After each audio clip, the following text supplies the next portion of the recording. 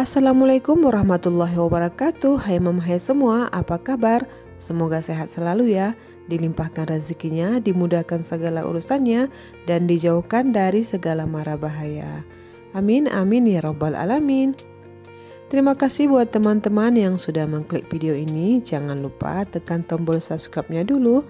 Nyalakan juga lonceng notifikasinya agar teman-teman tahu video terbaru dari aku Buat teman-teman yang ingin lebih akrab dengan aku boleh ya follow Instagram aku namanya Mama Diansi atau boleh juga klik linknya di deskripsi aku.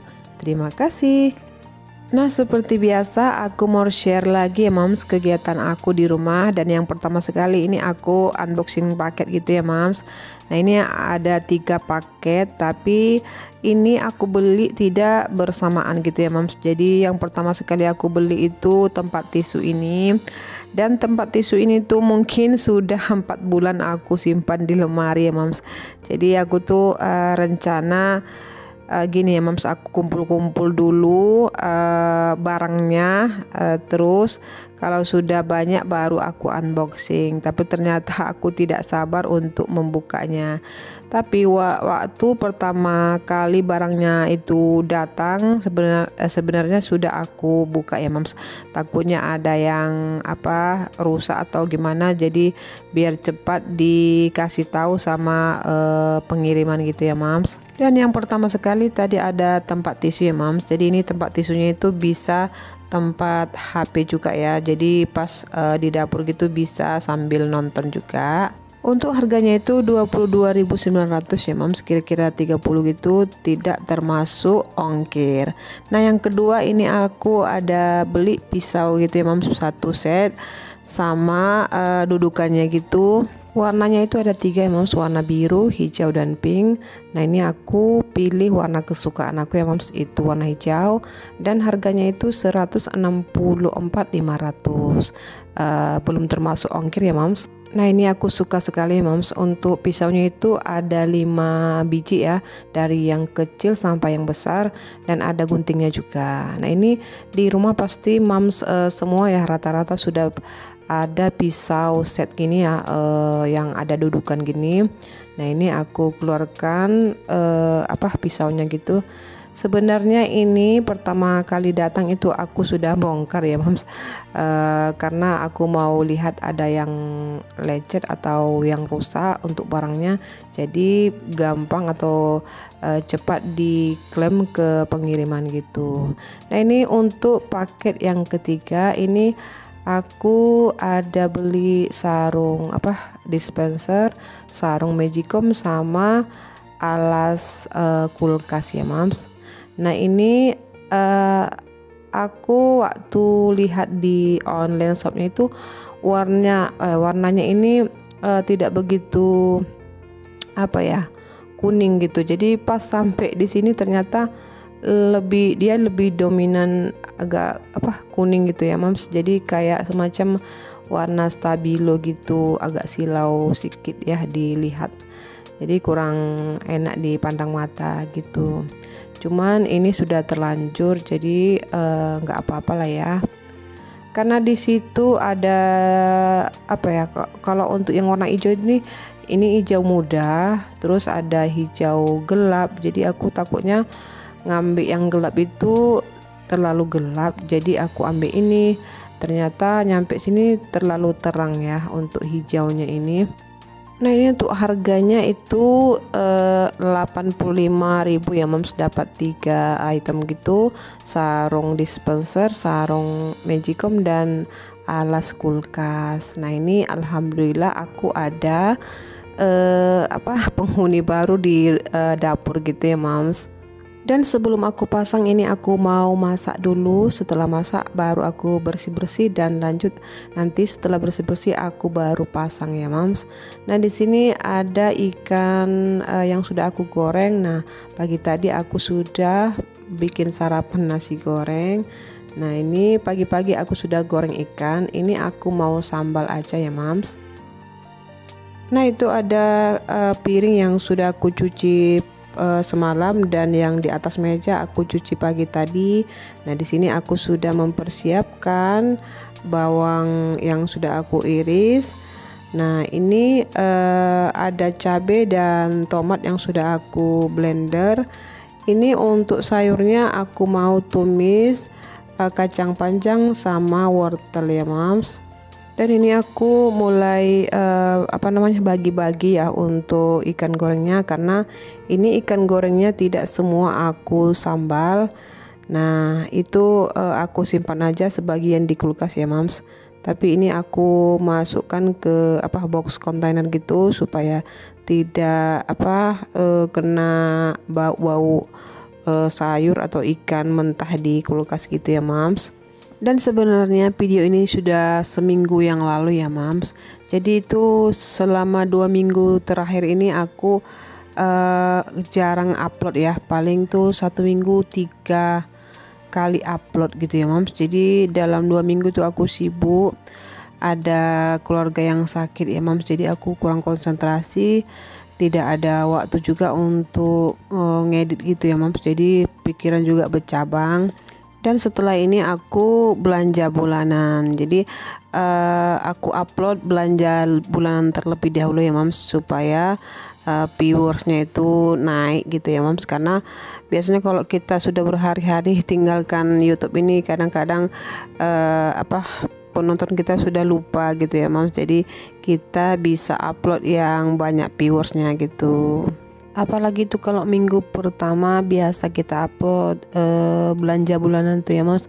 Jadi analitik YouTube itu selalu ingat ya apa yang kita uh, upload gitu. Jadi dia minta-minta terus.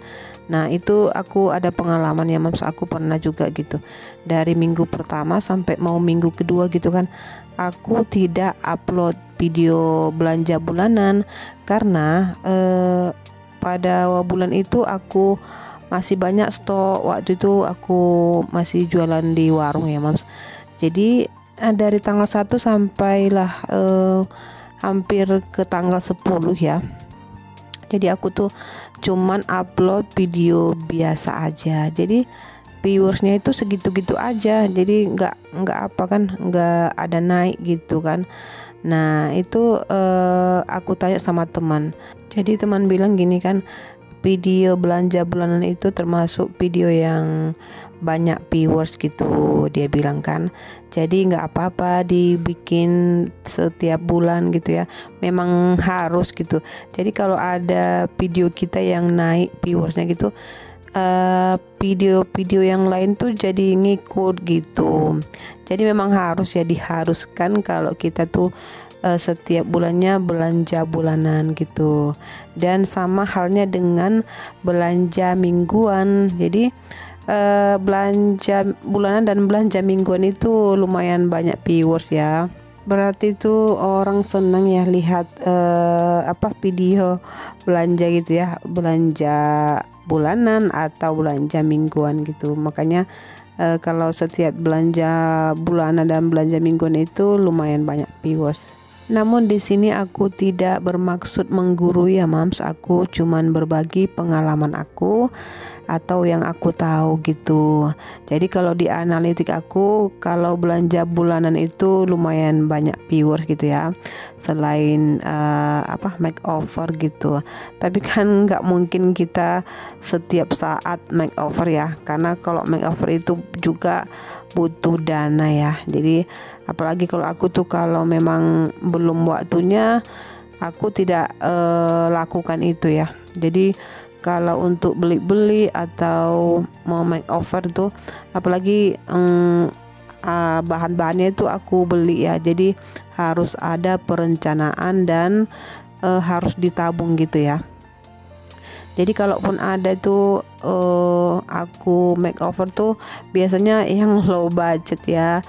Uh, ada barang lama aku perbaharui gitu aja. Jadi aku sebenarnya belum pernah uh, makeover secara um, apa ya betul-betulan gitu. Jadi waktu pertama sebelum ada iklan di channel aku itu memang aku pernah makeover. Tapi ya makeover ala kadarnya aja ya. Jadi hanya modal-modal dikit ya. Jadi kalau untuk makeover full gitu belum pernah dan ini keasikan bicara ya mam. E, ceritanya panjang lebar.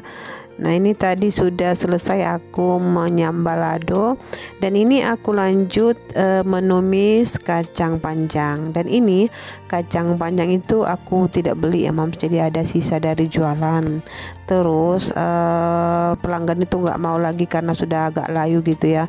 Jadi aku pilih satu-satu terus aku iris uh, baru aku cuci. Nah ini aku tumis aja beserta wortel ya.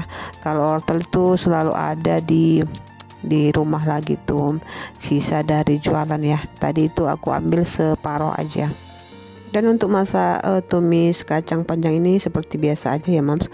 Pakai garam gula dan penyedap. Dan untuk airnya itu aku kasih dikit aja ya mams. Jadi ini tidak terlalu banyak kuah gitu. Nah ini sangat cocok sekali ya kalau dimakan beserta sambal lado ya. Jadi aku jarang-jarang numis eh, kacang panjang atau buncis. Jadi ini aku termasuk aku suka ya. Eh, pas aku makan tuh uh, masih krenyes-krenyes gitu ya. Jadi aku suka kalau sayur itu tidak terlalu lembek ya. Jadi kalau dimakan tuh masih ada bunyinya gitu. Nah ini aku tutup supaya cepat matang dan ini sudah selesai aku masak menu harian ya mams jadi alhamdulillah dua masakan hari ini sudah selesai aku masak. Dan ini lanjut aku beberes atau bersih-bersih di uh, dapur ya mams. Dan untuk makanannya ini aku tutup dulu karena anak-anak belum mau makan.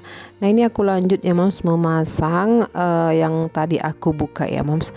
Di sini aku membersihkan uh, kulkas dulu ya jadi alas kulkas yang lama itu aku ganti. Nah ini aku lap-lap dulu Nah kalau mam suka perhatikan kulkas ini ya uh, biasanya itu ada di depan atau di pintu kulkas ini banyak stiker gitu ya mam stiker uh, Barbie Barbie gitu ya yang di apa dilengketkan Kak Sipa. Jadi ini aku sudah uh, apa lepas semua ya. Jadi sini sudah bersih. Nah ini aku lanjut memasang uh, alas kulkasnya.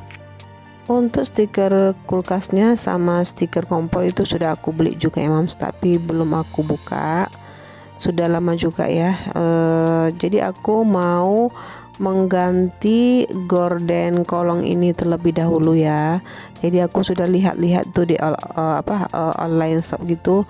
Tapi tidak ada ukuran yang seukuran dengan gorden kolong kompor aku ini ya mams. Jadi sudah aku beli kain itu kain yang mau aku jahitkan. Tapi aku belum sempat ke tukang jahit ya untuk menjahitkan uh, gorden kolong kompornya ini. Padahal itu sudah aku ukur semua ya. Jadi semenjak aku nge-youtube itu dari situ aku sebenarnya sudah nyicil-nyicil ya mams. Tapi waktu itu nyicilnya hak uang gitu. Jadi aku celeng-celengkan dikit-dikit Nah, jadi pas aku mau ada apa uh, barang gitu ya jadi aku uh, pesan dulu. Jadi kalau sudah cukup uangnya baru aku beli gitu ya mams. Tapi uh, aku simpan dulu di lemari gitu ya. Jadi semenjak dimonetisasi itu YouTube aku gitu ya mams aku sudah mulai nyicil-nyicil perlengkapan uh, di dapur ini ya mams. Jadi dengan cara aku uh, nyisahkan uang belanja gitu. Nah, kalau ada uang eh kalau ada uang, kalau ada barang yang aku butuh ya, bukan hanya suka ya, tapi butuh, aku beli gitu. Dan ini alhamdulillah sudah selesai aku pasang-pasang semua ya mams. Nah ini uh, dapurku tambah segar ya uh, karena mulai ada uh, hijau-hijaunya gitu ya mams jadi ini tapi uh, hijaunya ini uh, campur ya. Ada yang toska ada yang hijau uh, pucuk pisang gitu ya mams nah ini aku sangat senang dan bersyukur uh, dapurku ini walaupun sederhana tapi ada sedikit suasana baru gitu ya mams Dan tidak terasa ini sudah di akhir video ya moms Terima kasih buat moms dan teman-teman semua Yang sudah mengikuti video aku dari awal hingga akhir. Semoga video aku bermanfaat Semoga menginspirasi dan semoga teman-teman suka. Mohon maaf bila ada kata dan tindakan aku yang salah. Sampai jumpa di video berikutnya. Wassalamualaikum warahmatullahi wabarakatuh